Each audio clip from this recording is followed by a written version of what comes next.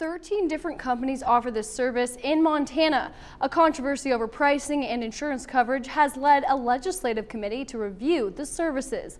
Frustration from patients, air ambulance companies, and insurers spilled out at a, a committee hearing earlier this month.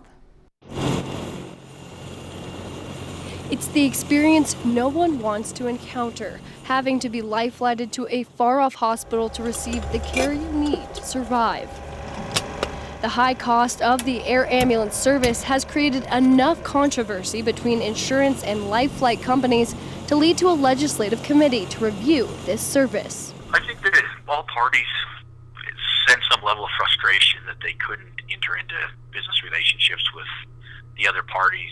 The frustration is about money. Money charged by some air ambulance providers and the amount of money that insurance companies will reimburse those flight companies. We've got 10 providers in the state of Montana that are in network and have agreed to that or lower rates. Now when the insurance carriers are, are, are, are capping in essence and deciding what our services are, are going to be reimbursed at, it not only jeopardizes our ability to provide this service, ultimately those struggles and, and the price to be paid gets passed down to the patients. It's really some of the out-of-state providers that have come in in the last couple of years whose rates are significantly higher. It's not our responsibility to make a private business model sustainable, and we certainly shouldn't be obligated to pay Summit, for example, whatever they want to charge. Despite this controversy, some air ambulance providers do have contracts with Medicare and insurance companies. St. Vincent Hospital in Billings for 36 years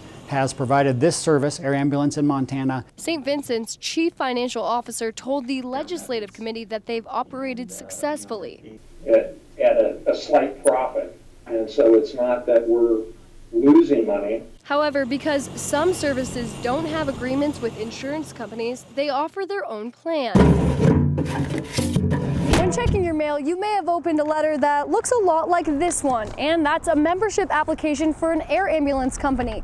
But is it the right choice? Some people who have used an air ambulance service say they don't think it's worth the extra money. I would not suggest to anybody to just go out and get a life flight membership because you don't have that guarantee that that's who's going to fly you but I have to pay on top of that another 60, 70, sometimes $100 annually so that I don't get balance billed when that's why I have insurance in the first place. These are just some of the issues that the interim legislative committee is grappling with, trying to address the concerns of the air ambulance providers while protecting the patient. Given the task of coming up with some sort of framework or network that would allow these entities to operate uh, and, and also protect the Montana consumers.